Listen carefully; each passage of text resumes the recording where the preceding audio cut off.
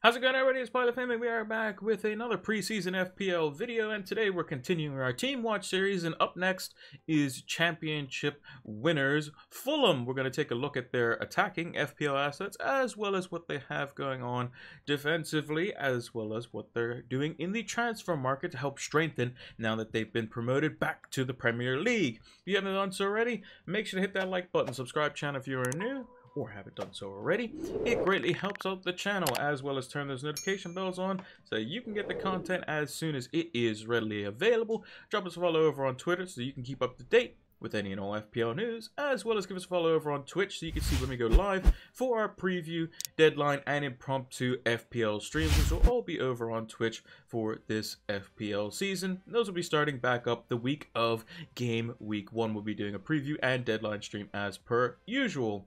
So, without further ado, let's look at Fulham's defensive assets that I have targeted for this FPL season. So here are some of the key defensive assets in FPL for Fulham, newly promoted and winners of the championship in the 2021-22 season. The player stats over my shoulder are from the 2021-22 championship season for the players, whereas the stats above me for their team stats are from the 2020-21 season when they were last in the Premier League to get you a bit of an idea of what they did last time attacking wise so you can get a little bit of a different scope on it. Defensively, though, I think Fulham are going to come under the same scrutiny as I mentioned for Bournemouth and will probably be the same for Nottingham Forest. In previous seasons gone by, we would have looked at some, you know, kind of promotion teams and see if we can get some budget FPL assets.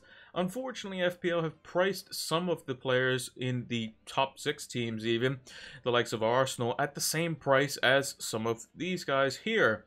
Robinson and Tosin Adarabioyo 4.5 million. I mean, you're just going to pick Tommy Tomiyasu or Ben White, right? Unless Fulham absolutely, you know, go go on and do mad things in the Premier League, which is definitely possible. There's always a chance for that, but I just don't see it happening personally. Adarabioyo, or Tosin as he's named in FPL. 41 starts last season, a bit of a goal threat uh, every now and again. He is a big figure in the box and can be quite imposing and will potentially get a set piece goal or two uh, every now and again. Robinson will be one playing uh, as one of the fullbacks. I think he mainly plays on the right-hand side, if I remember correctly. Two goals, four assists in the championship with 33 starts again, I think he's just going to be probably just not picked personally, even though I think he is a very good player, a good deliverer of the ball, likes to get up and down, and will cause problems for teams that allow him the time and space. Very much a, a, young, modern fullback uh, in the way that they're being molded into nowadays, where they're basically playing as right-sided attackers almost. Uh, how, like the old school 4-4-2, they're playing more as like the the left and right midfielders nowadays, or they're playing as central midfielders, playing as like attacking midfielders, like the way Cancelo plays for Man City. Rodak is going to be the probably mainstay in goal. I would think he was last season, 33 starts. I think he had a bit of an injury, which is why he didn't start as many games. Um, so I think that he will be the one, if you're going to go for the Fulham goalkeeper, would be the one to, to go for there.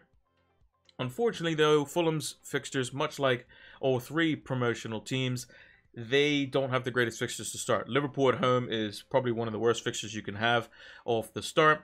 Wolves away is never easy of a destination, even though it is an FDR rating of 2. Brentford at home, that should be an interesting one. And then Arsenal away is going to be tricky as well. So defensively, I just think there are much better options. Same with what we mentioned with Everton, with Bournemouth. There are just better defensive options from teams that placed in the top six last season, like Arsenal, like Spurs, like Chelsea, like Man City, like Liverpool. You can just basically build a team from those players, and I think defensively, that's where a lot of these guys are not going to get seen any play in most FPL teams.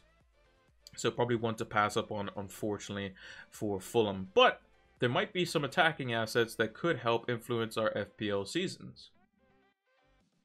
So if you take a look at the team stats just above me from the 2020-21 FPL season, that's when Fulham were last in the Premier League. Only one season out. Uh, they were relegated in 2020-2021 and then won the championship the season after. Again, the player stats are from the championship season 21-22 and the team stats above me are from the 2020-21 Premier League season. And Fulham have some very good attacking assets, to be honest, for their price points. However, they're going to need to improve on their XG. The last time they were up in the Premier League, just under 41 XG non penalty just isn't going to cut it. They need to have more clear cut opportunities.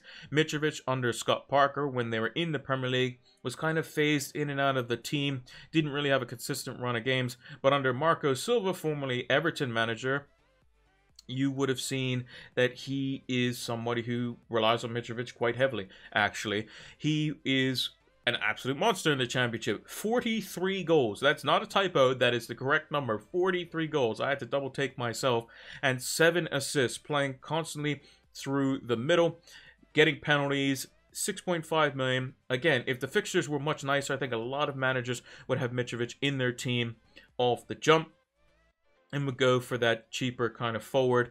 Unfortunately, again, for all the promotional teams, I think Forest have the worst of it, uh, or at least tied with Bournemouth from what I remember. Fulham isn't as bad. They have two winnable fixtures in game week two and three, you would think, but still going to be difficult. Mitrovic would be in a lot of FPL teams. They're going to typically play a 4-3-3 or 4-2-3-1 in most cases, and that's kind of important because Kebano and Wilson are going to play as those wide players in either the, the left or right in the front three, Kebano being on the left, Wilson on the right. Or uh, they're going to be playing on the left and right in a 4-2-3-1. Harry Wilson can also play as the number 10 if they wanted to implement him there as well. 10 goals, 19 assists. He was very, very influential in Fulham's season, often playing in the front three or in the front four in the 4-2-3-1, providing for Mitrovic and helping him score a lot of goals. And if you see their number of starts, they're going to be your most two reliable players, 40 starts and 44 starts respectively, with a possible 46 starts because that's how many games they play in the championship across a whole season. I like them personally. The only thing is though, if you look at Wilson as an example at 6 million, you have Martinelli from Arsenal who potentially could be on penalties and playing game in game out for Arsenal. That seems like potentially a little bit of an oversight when it came to pricing. I just think they've reduced the price of a lot of players for some of the bigger teams, and we're just going to not see a lot of play from these cheaper teams from the like promotional uh, teams, the cheaper assets from the promotional teams. So I think that it could be unfortunate because I like to see more diversity in the number of players that you can pick from. I think Wilson and Mitrovic, if they replicate even the slightest bit of form that they did in the championship, they could provide some FPL points that could be much needed for this season when we're looking for differential players. Because it seems like there's a fairly strong template forming on FPL social media as well as in the FPL community. And we're going to need to look at these kinds of players to break that mold. And when Fulham gets some better fixtures, we might be looking at them uh, to do that. And I think that Mitrovic and Wilson are going to be out of all the players from the championship are probably the most promising uh, for attacking returns. So that's going to do it for Fulham's attacking assets. Let's see what they're doing in the transfer market to help strengthen their squad for the upcoming FPL season. Now, Fulham have done some pretty astute business in the transfer market. We'll start with the ins. They've brought in Palhinha because of the leaving uh, Seri. He was constantly playing as more like a, in the, the, the double pivot as a more of a defensive minded, kind of break up the play midfielder, potentially playing as a box to box from time to time. And Palhinha is coming from Sporting Lisbon for approximately 17 million pounds. Again, these transfer fees are approximations and he will play as more of a holding midfielder. Not going to be much of an FPL asset, but will allow the likes of newly brought in Andreas Pereira from Manchester United, who was priced at 4.5 million before he made his move to Fulham for just under 10 million pounds. He's probably going to play the number 10 role. And the reason that is the case is because Carvalho, who was the number 10 for the majority of last season, has made his move to Liverpool and will play as more of a squad player for them. But now Pereira, who's 4.5 million in FPL, could be playing number 10 game in game out for Fulham, and is probably going to be most of our bench fillers for the start of the season, at least to see, because I mean they're not going to sign him for nothing, and they need that hole, and Pereira can play in that role, and that's what he did for when he played for United, for when he was playing at his best. Very attacking. He's also going to be on set pieces as well direct free kicks, indirect free kicks, potentially some corners. We'll have to wait and see if the extent of that is going to be that drastic. But I think he's going to be in most FPL teams alongside uh, Josh Dasilva from Brentford. These two 4.5 million guys are going to be playing number 10 for their team, most likely game in, game out. Another potential in as well is Bernd Leno, someone who could potentially take the role from Rodak and could be the starting goalkeeper. Would definitely improve on their position. Uh, Leno is a very good shot stopper, just not the greatest with the ball at his feet, but I think Fulham more than likely are going to be, you know, backs against the wall type thing more times than having a lot of possession and could look to play on the counter. In terms of the outs, we mentioned uh, Carvalho, Anguissa, and Seri often players who played in that double pivot in the 4-2-3-1 or in a midfield 3.